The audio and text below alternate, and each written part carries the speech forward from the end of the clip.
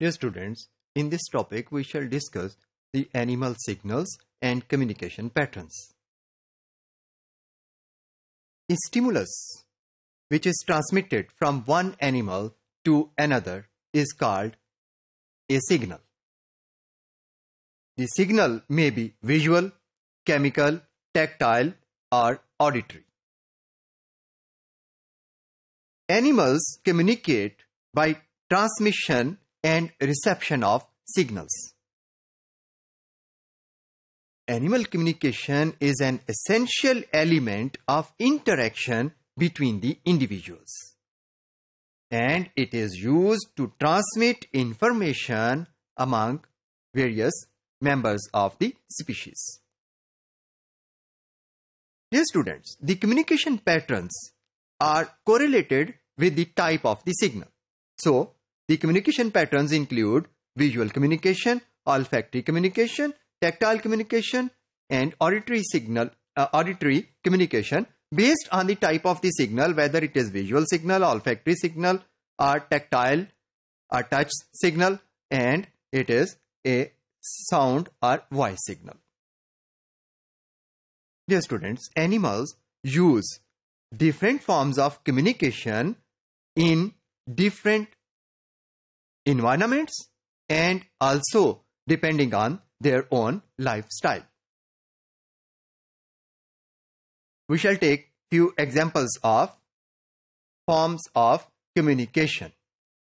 The diurnal animals जो दिन के वक्त एक्टिव होते हैं वो आमतौर के ऊपर विजुअल और ऑडिटरी सिग्नल्स के थ्रू कम्युनिकेट करते हैं जबकि नॉक्टर्नल नॉक्टर्नल एनिमल्स जो रात के वक्त एक्टिव होते हैं, उनमें विजुअल डिस्प्लेस की तो कोई इंपॉर्टेंस नहीं रहती, बल्कि they use olfactory and auditory signals which work well in dark dear student we shall discuss in detail a comprehensive example of animal communication through signals which is observe in the courtship behavior of fruit fly Drosophila melanogaster.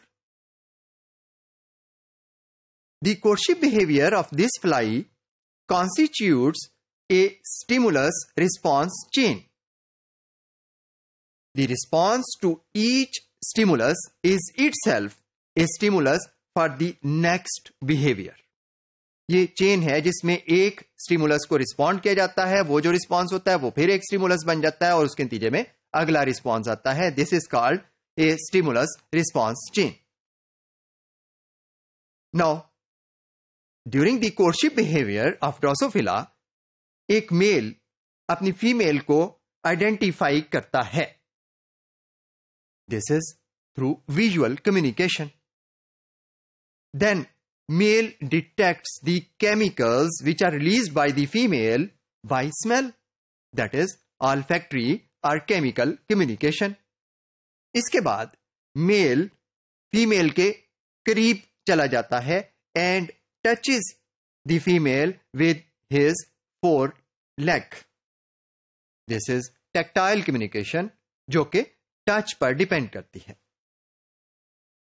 now in the next step male extends and vibrates his wings which produce sound ये जो sound है इसे कहते हैं courtship song and it acts by visual auditory auditory communication. As a result of this chain of communication, the communication becomes successful Female also identifies that the male coming to her belongs to the same species, so she becomes receptive and allows the male to attempt copulation. Dear students, communication is also used among animals for transfer of information. The information content transferred varies considerably. We shall take a comprehensive example of communication of information transfer in animals by taking the symbolic language of honeybees as example. Honeybees share information about the location of food source. एक Honey bee जो कि एक food source find कर लेती है और वो food source hive के करीब है। That is within a range of 50 metres or less it return to its hive और अब आके कम्युनिकेट करना चाहती है दूसरी हनी बीज को कि मुझे फ़ूड का सोर्स मिला है और आप सब उधर ही आए। तो इसके लिए उसकी एक साइन लैंग्वेज यूज़ होती है, जिसे symbolic language of Honey bees कहते हैं। This honey bee who has found food comes to his its hive And moves in tight circles from side to side this movement of honey bee is called round dance This round dance motivates other bees to leave the hive and follow her for nearby food. When the honeybee finds a food source which is farther, थोड़ा दूर अगर कोई food source मिला है तो ऐसी सूरत में returning Honey bee जो है that will perform a waggle dance waggle dance में it will swing half circle in one direction then a straight run and then a half circle in opposite direction this signal will communicate to the other members of species or the residents of that hive that the where is the direction and the distance of food source. इस तरह से symbolic language के through communication honey bees में होती है